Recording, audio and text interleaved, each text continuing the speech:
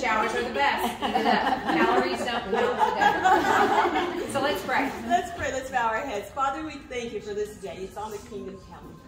And God, we thank you that Jordan this day is surrounded by her family and her friends. We thank you that this is a day, God, that you have made, and we'll rejoice and be glad in it, God. History takes place today. Two of your children, Lord God, will embark upon a new journey. And we thank you for Cade, and we thank you for this young man that I've watched grow up, God. And I thank you that your special anointing is upon, and your mark is upon that young man. So this beautiful Jordan gets to take that side of his calling and his journey, and now it becomes a journey of two. Mm-hmm. God, we thank you for this beautiful couple. We thank you for your anointing. We thank you for your blessing. We thank you for your dreams. Mm-hmm.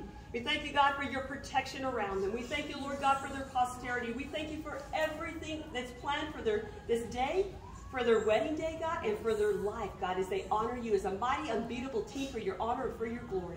We thank you, Lord God, that you will just continue to make everything smooth, God. That you'll go before them, you'll hem them in, and you'll be their rear guard. We thank you, Lord God, that they'll come to know their authority together, God, as a team. And we thank you, God, that you will position them, God, to be mighty warriors and a mighty princess warrior, God.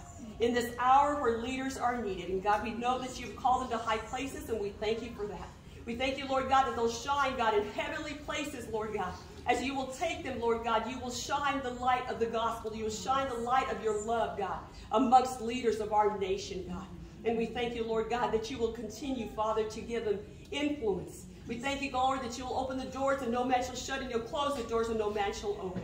And we thank you, Lord God, that they will make a mark on your kingdom um, because that is your honor for their lives, Lord God, and it is your assignment, God. So, Father, we thank you for your glory, Father, that shines all about them.